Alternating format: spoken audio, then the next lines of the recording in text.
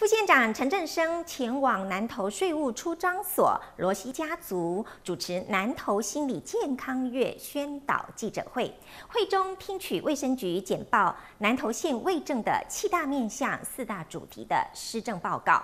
陈副县长对于卫生局创新思维表达肯定，并对全县的卫政同仁不畏劳苦，提供县民最好的服务，表达感谢之意。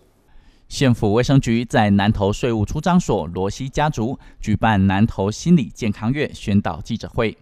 副县长陈振生在卫生局长黄昭郎陪同下出席与会，会中听取卫生局简报本县卫政七大面向、四大主题施政报告。陈副县长表示，每年的十月份是心理健康月，县府每年都会办理活动。呼吁民众多关心周遭亲友心理健康问题，减少忧郁症发生可能。透过持续治疗，促进患者生活品质及健康。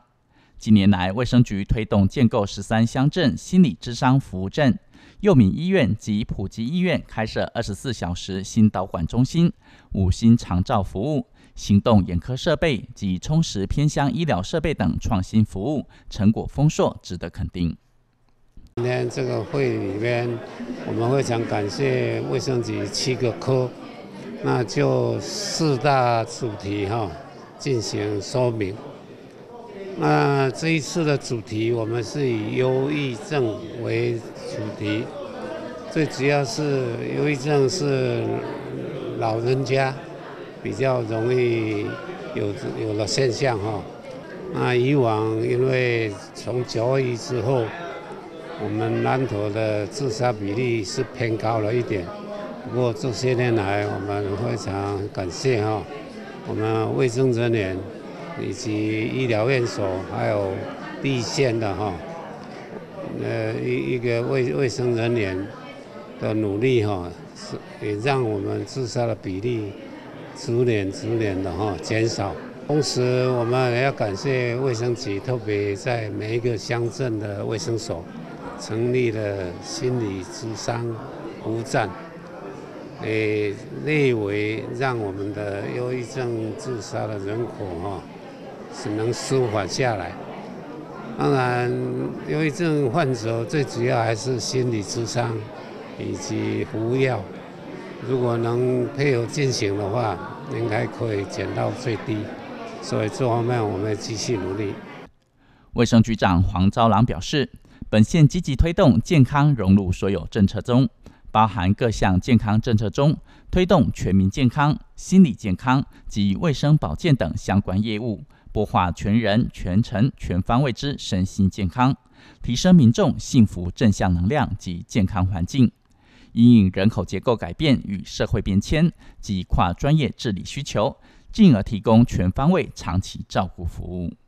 希望透过今天我们的啊卫政的一个记者会，让我们前线的民众也透过我们新闻媒体，让啊我们的县民更知道我们未来啊现在我们卫生业务重大的医疗卫生保健，还有长期照护业务推动的一个情形，也让啊我们的县民能够知道我们到底卫生局在啊县政府卫生局在为我们民众提供哪一些的服务，然后民众知道这样的一个资讯的话，也踊跃来利用我们这些啊医疗保健的一个服务的。管道。